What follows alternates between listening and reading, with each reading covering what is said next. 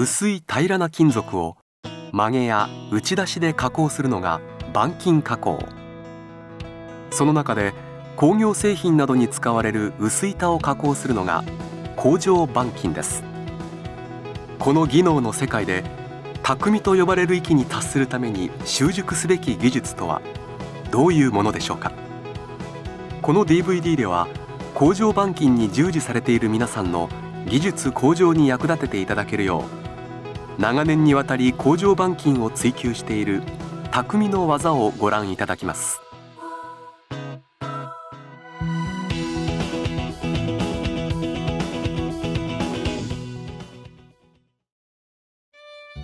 工場板金の熟練技能を披露してくれるのは特級工場板金技能士の鈴木実さん。鈴木さんの熟練した技を一級工場板金技能検定の課題作品の制作を通じてご覧いただきます。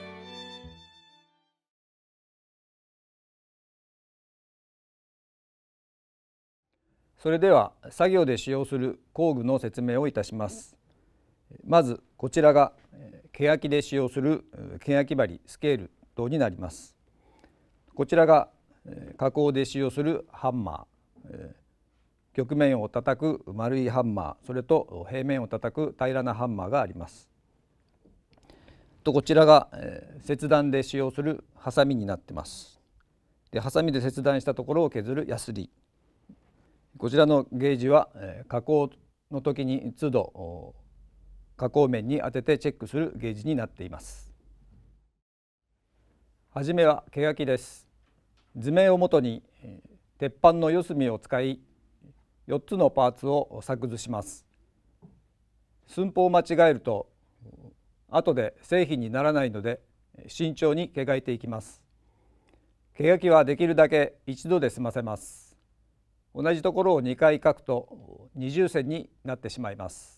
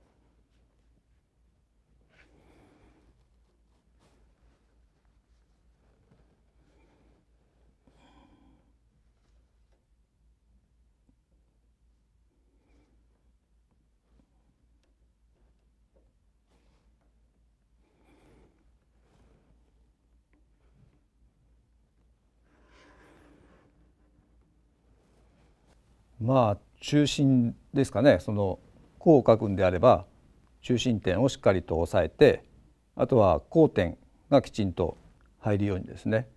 書いた時にやっぱり線がこうずれないように。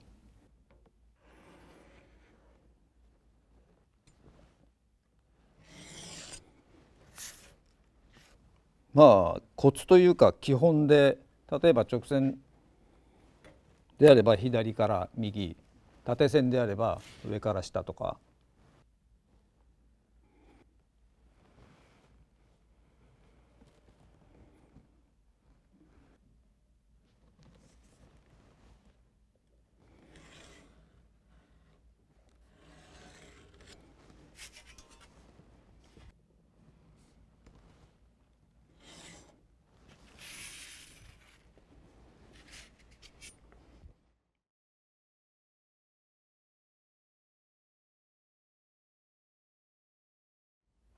次は切断です。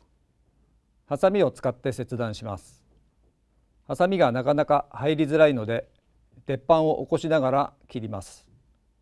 特に注意が必要なのは横板の切断です。平らなパーツなので変形すると修正が大変です。慎重に切っていきます。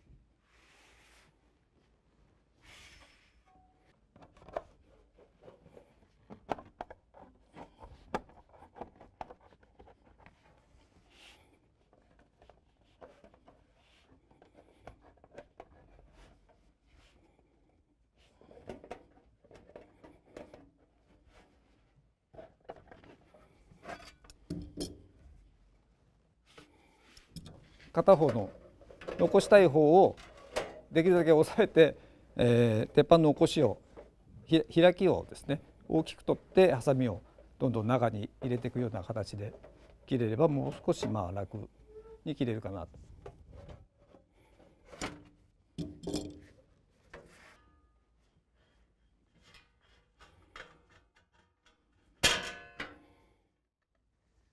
常に毛書線から目を離さないで毛書線上に刃を置く直線なんかは特にそうですね。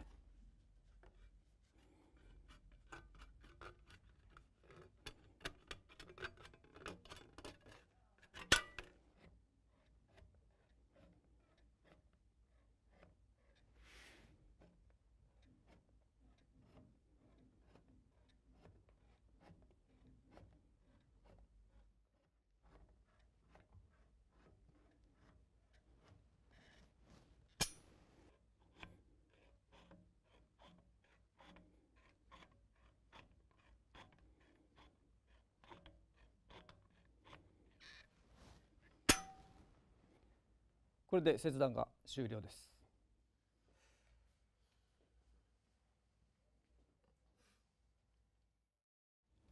座面部品の加工です。はじめに裏から影タガネで曲げ線をつけていきます。次に表から木ハンマーで曲げ線をしっかりと出していきます。さらに金の芋ハンマーで座面を叩き出していきます。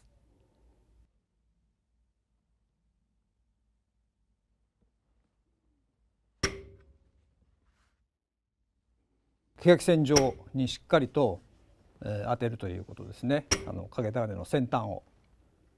欅線からずれてしまうと,、えーと、曲げ線もずれると。曲がってしまう。私こう叩く瞬間のこう何でしょう。力のこう伝わり具合っていうんですかね。大体左手でそれを感じて影た金を持ってる方の手ですね。それで大体こうあ今のは大体いい線が出たなっていうような感じは伝わってくるかと思います。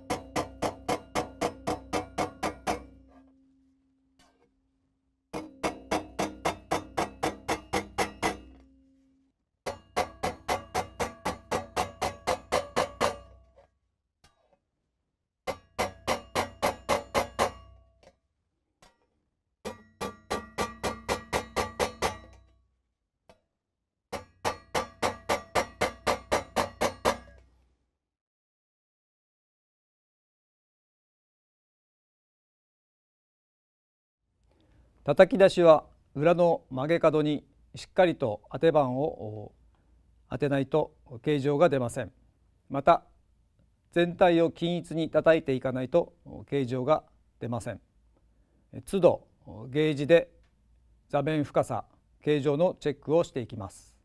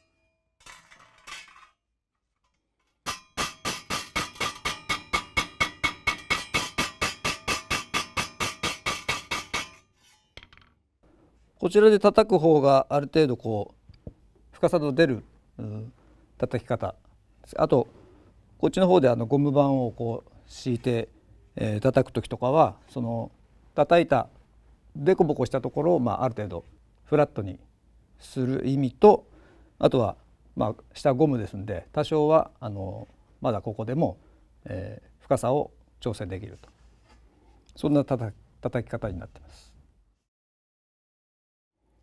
座面部の鳴らしは裏から R 部をしっかり叩いて凹凸をなくします。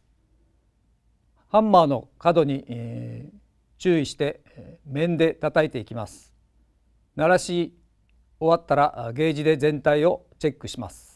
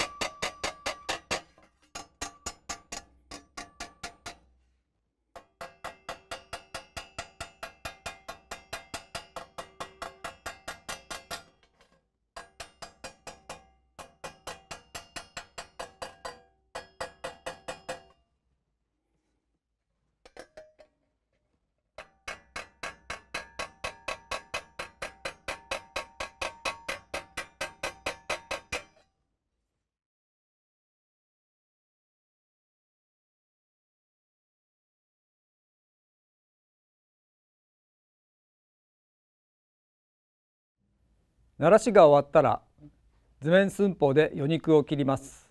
その後は曲げ線を入れ木ハンマーでフランジを曲げます。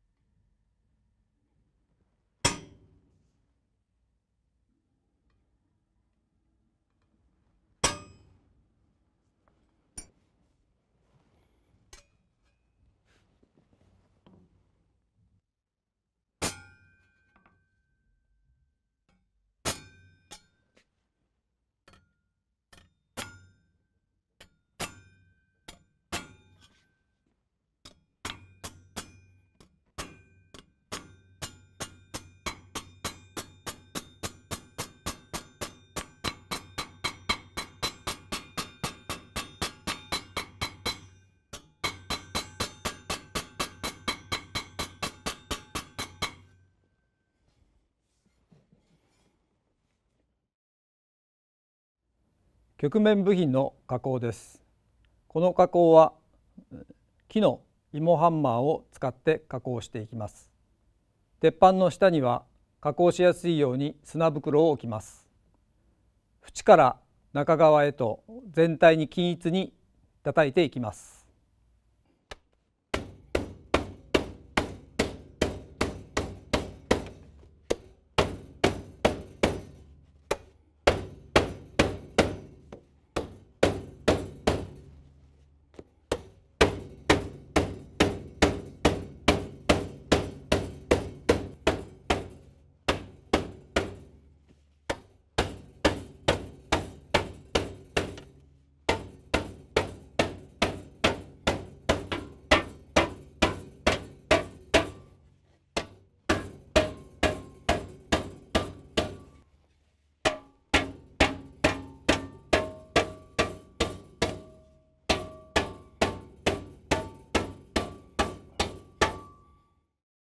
ハンマーがまっすぐ当たるように。ドンですね。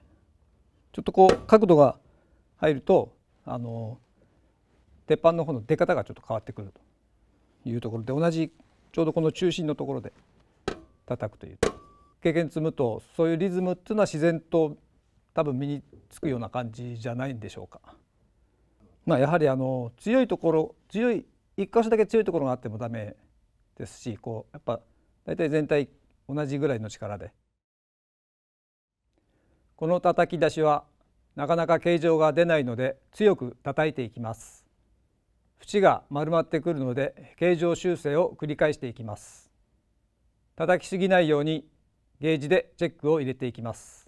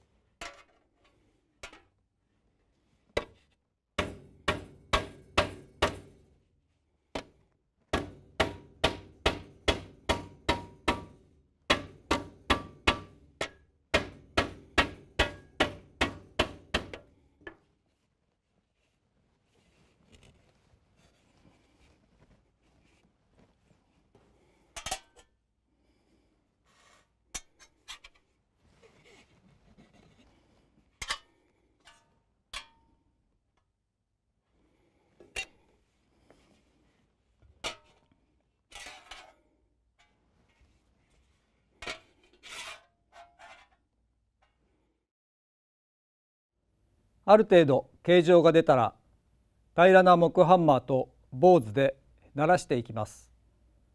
全体を均一に叩いて鳴らしていきます。その時に表面を手で触ってみます。鳴らし終わった後もゲージでチェックします。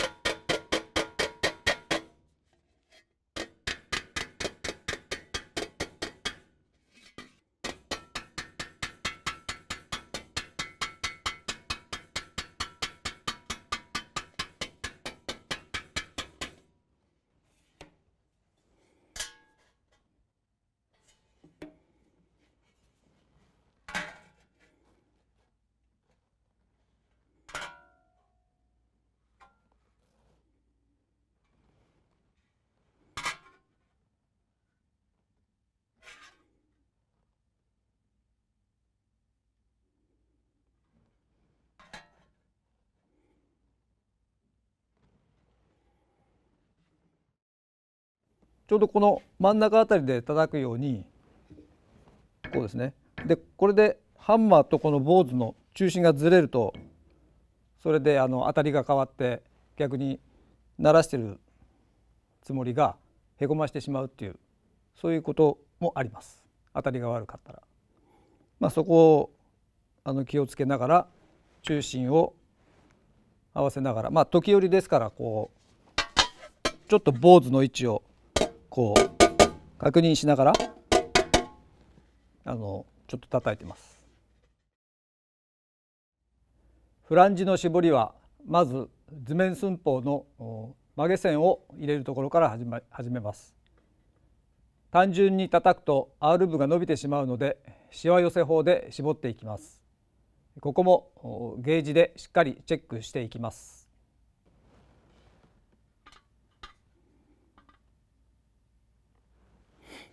う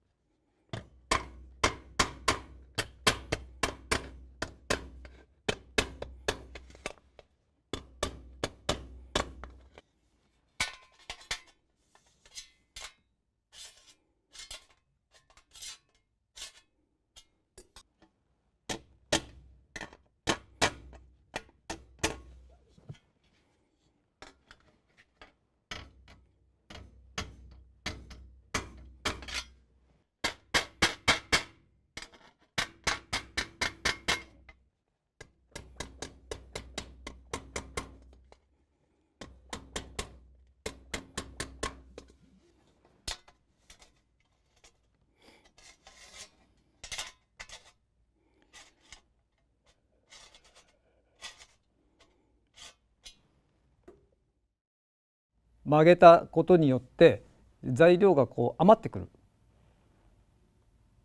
えー、余ってくるものを、えー、ある程度こう分散させるためにこうシワを作って、えー、全体にその余り分を、えー、散らすそのためにあのシワをこう何本も作ってでそれをあの最後にた平らに叩いて形状を出すという方法です。フランジを平らにしたら最後にゲージでチェックします。さらに図面寸法で余肉を切ります。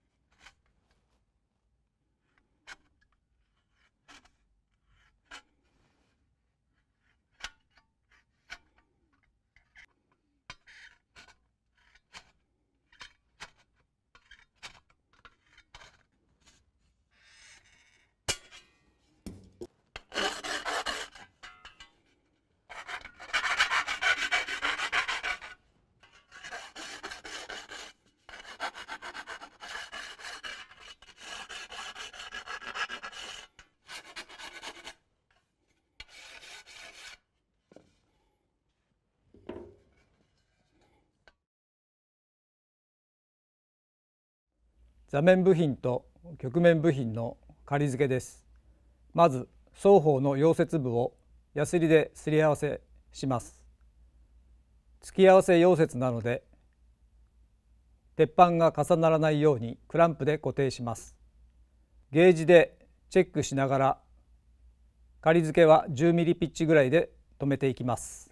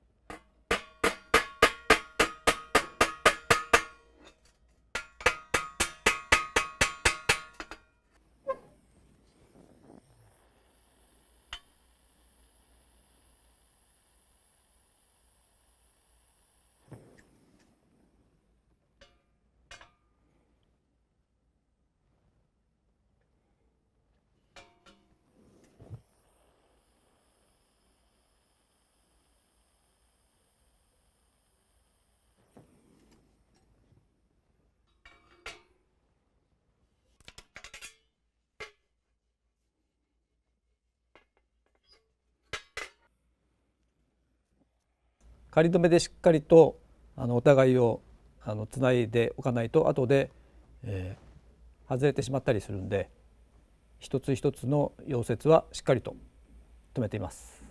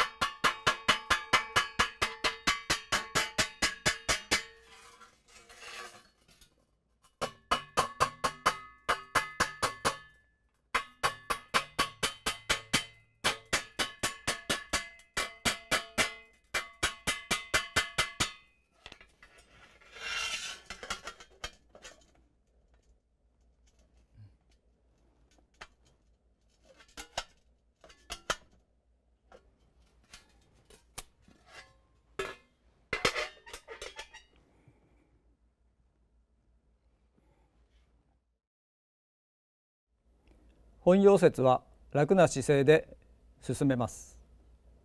部品と樋口の距離を一定に保ち溶接棒を溶かしていきます。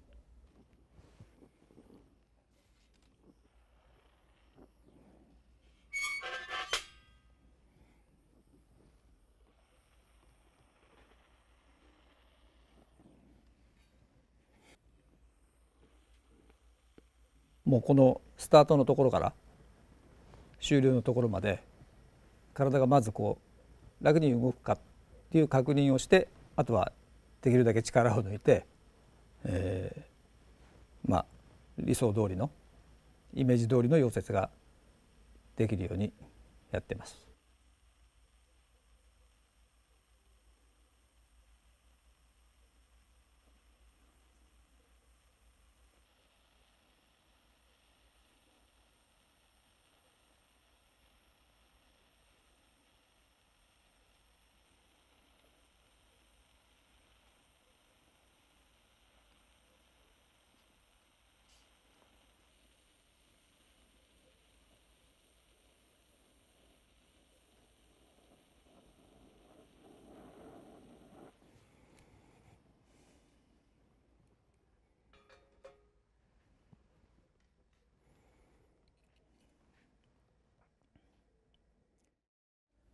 溶接部の叩き仕上げは金ハンマーを使用します。表裏両面からしっかりと叩いていきます。手で触って凹凸を確認しゲージでチェックします。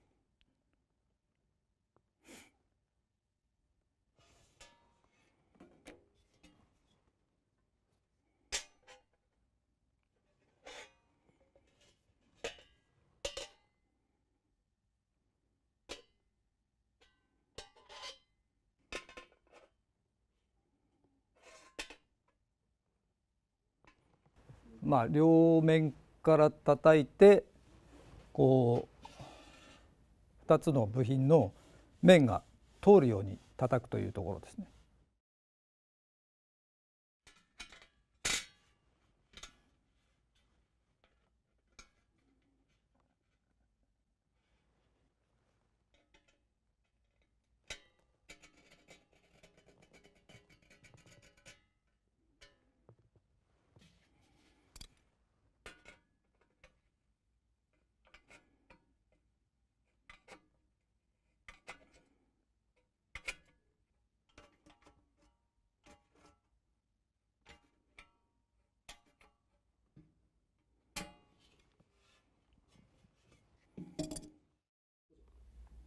横板の仮付けです。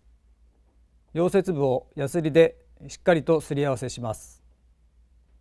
端部を揃えてクランプで鉄板を固定します。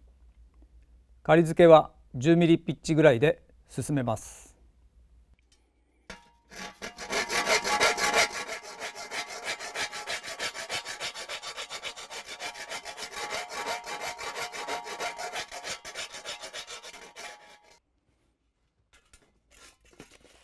隙間をまあできるだけ開けないように板と板がまあ隙ゼロでついてくれるのが一番あの理想的だと。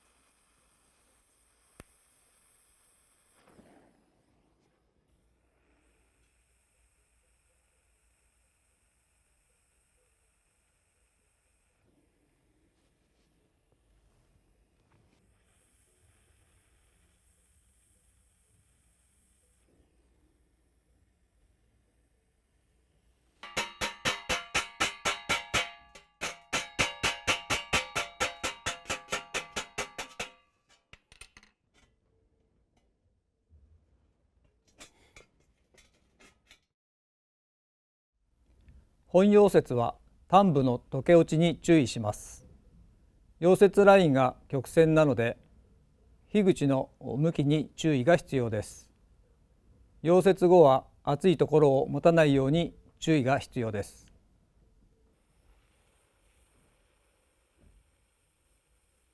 先ほどはあの本体の方の溶接は直線だったのでまあ火口の向きは一定のままでずっと持ってこれたんですけども今のはやはりあの 90R の曲線になってますんで樋口をその曲線に合わせて少しこう巻くような形で進めた溶接に変えました。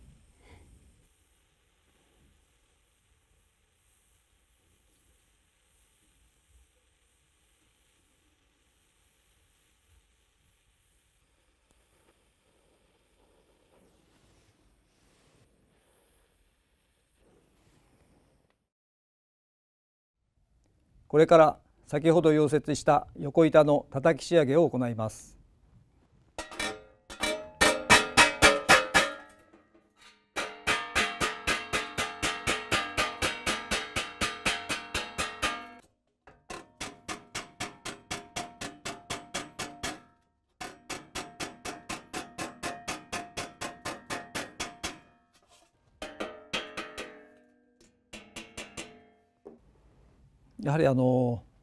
実際自分の手で触って溶接が終わったところを叩いて、えー、平らになっているかどうか。叩いた後を自分の手であの確認すると。叩きっぱなしではなくて必ず叩いた後は自分の手で触ってみる。最後のフランジ加工です。横板を基準に曲げ線を入れます。余肉を切ってしわ寄せ法で絞っていきます。